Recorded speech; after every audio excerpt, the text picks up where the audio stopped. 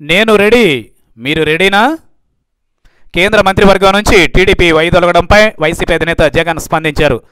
ప్రజల ఆకాంక్షలకు చంద్రబాబు తలగ్గడం శుభపరిణామమేనని అయితే ఇంకా ఎన్డీఏలో ఎందుకు కొనసాగుతున్నారో చెప్పాలని జగన్ డిమాండ్ చేశారు.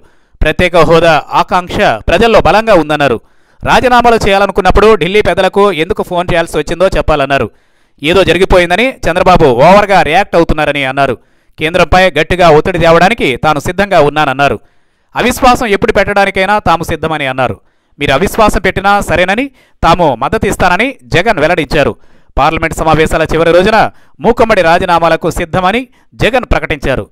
ప్రత్యేక హోదా ఏపీ ప్రజల సెంటిమెంట్ అని పద్నాలుగవ ఆర్థిక సంఘం ప్రత్యేక హోదా ఇవ్వొద్దని చెప్పలేదని అన్నారు.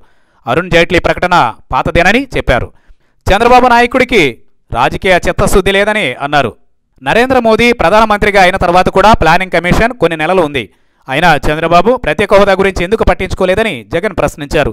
ప్లానింగ్ కమిషన్ ఏడు నెలలు ఉన్నా నీతి ఆయోగ్ వచ్చేంత వరకు చంద్రబాబు కాలయాపన చేశారన్నారు.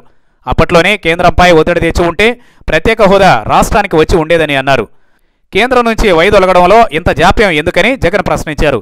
ఎంపీలంతా మూకమ్మడి రాజీనామాలు చేస్తే కేంద్రంపై ఒత్తిడి పెరుగుతుందని అన్నారు. బాధ్యత కలిగిన ముఖ్యమంత్రిగా చంద్రబాబు వ్యవహరించలేదని జగన్ అభిప్రాయపడ్డారు. ఇదే పనిని రెండేళ్ళ క్రితం చేసి ఉంటే ప్రత్యేక హోదా వచ్చి ఉండేదని అన్నారు. ఎన్నికలకు ముందు మంత్రివర్గం నుంచి వైదొలిగితే ప్రయోజనం ఏంటని ప్రశ్నించారు. బీజేపీ కూడా ఎన్నికల మూడులోకి వెళ్ళిందని అన్నారు. ఇతర రాష్ట్రాలను సాకుగా చూపడం కేంద్రానికి సబబు కాదని అన్నారు. రాష్ట్రాన్ని విభజించే ముందు కర్ణాటక ఒడిశా బీహార్ రాష్ట్రాలు కేంద్రానికి గుర్తుకు రాలేదా అని జగన్ ప్రశ్నించారు. ఆ రోజు రాష్ట్రాన్ని విడగొట్టొద్దని గట్టిగా కోరుకున్న పార్టీ వైసీపీయేనని ఆయన అన్నారు. టీడీపీ సమన్యాయమంటూ రాష్ట్ర విభజనకు కారణమైందని అన్నారు. ఇప్పటికైనా చంద్రబాబు నాయుడు చరిత్రహీనులుగా మిగిలిపోకుండా చిత్తశుద్ధితో న్యాయంగా ధర్మంగా పోరాటం చేయాలని అన్నారు. ఇరవై ఐదు మంది ఎంపీలు ఒక తాటి మీద నిలబడితే కేంద్రం దిగి వస్తుందని అన్నారు.